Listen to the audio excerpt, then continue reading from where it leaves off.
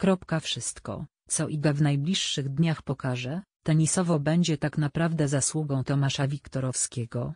Mówi Paweł Ostrowski, były szkoleniowiec Marty Domachowskiej, Anny Czakwetadze oraz Angelik Kerber.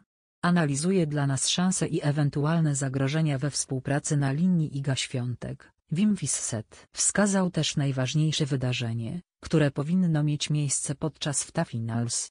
Bartosz Gębicz, Iga i Belk rozpoczęli współpracę przed FTA Finals. Jak ocenia pan ten układ w perspektywie krótko, średnio i długoterminowej?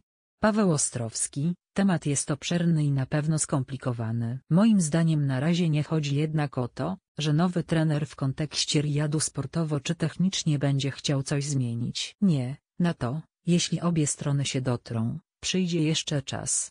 Wszystko, co Iga w najbliższych dniach pokaże, tenisowo będzie tak naprawdę zasługą Tomasza Wiktorowskiego. Zadanie Belga jest teraz inne i tak naprawdę sprowadza się do relacji.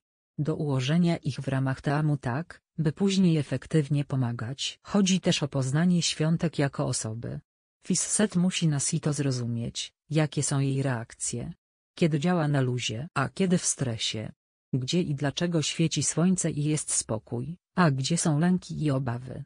To widać z boksu przy korcie, a nie w telewizji. Moment wspólnego startu przed ostatnim występem w sezonie, choć komuś z boku mógł wydawać się nieco dziwny, został dobrany odpowiedzialnie i niesie dużo pozytywów. Przede wszystkim jedziemy na turniej, na którym nie ma ryzyka, że w jednym meczu coś się nie uda i wracamy do domu. Zagwarantowane są, oczywiście wyłączając przypadki losowe, przynajmniej trzy spotkania. Będzie więcej czasu, żeby zbudować zaufanie. O nie chodzi teraz najbardziej, oczywiście.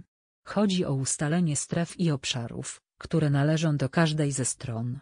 Dlatego nie zdziwię się, jeśli Fisset, choć nie ma go w sztabie kadry, pojedzie również na finały Billie Jean King Cup do Hiszpanii. W pierwszych dniach będzie prowadził obserwacje w umownym trybie 7-24, czyli non-stop. Tak. On pracował z wieloma różnymi zawodniczkami i wie, z czym to się je.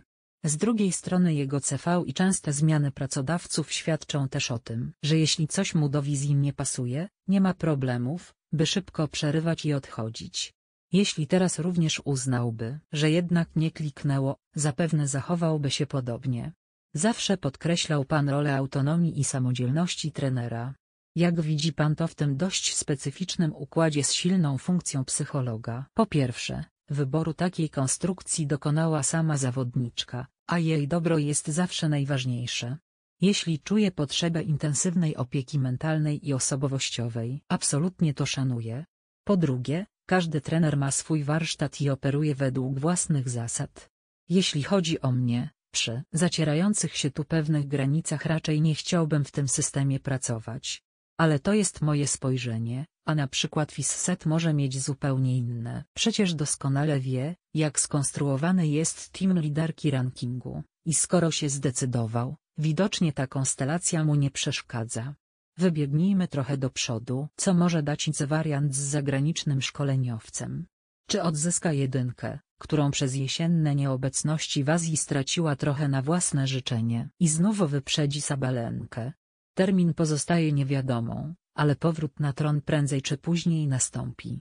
Niezależnie od tego, kto by świątek w przyszłości prowadził. Ona ma już tak duży własny zasób kompetencji, że nawet sama doskonale by sobie z wieloma sprawami poradziła. Roger Federer przez chwilę jeździł na turnieje jak wolny ptak. Potem wziął do pomocy Edberga, bo delikatnie chciał wypolerować akcenty przy siatce. Za chwilę przyszedł Ljubicic i Szwajcar zaczął grać backhandem jak nigdy. Iga poniżej pewnego poziomu też już nigdy nie zajdzie. Nie będzie rewolucji w tył. Może być tylko rewolucja do przodu. Numer jeden Iga na moment straciła, ale teraz ma cel i motywację, by go w nowej konfiguracji odzyskać. Jak potoczą się w ta finals? Kandydatkami do zwycięstwa są Sabalenka i Świątek. Inne zawodniczki są w stanie wygrywać pojedyncze mecze, jednak w skali całego turnieju będzie im o sukces znacznie trudniej. Choć w takiej sytuacji zawsze robię zastrzeżenie, że to tenis kobiecy i wszystko może się zdarzyć. Do tego impreza rozgrywana jest w nowym miejscu, więc zobaczymy, jak komu podpasuje obiekt,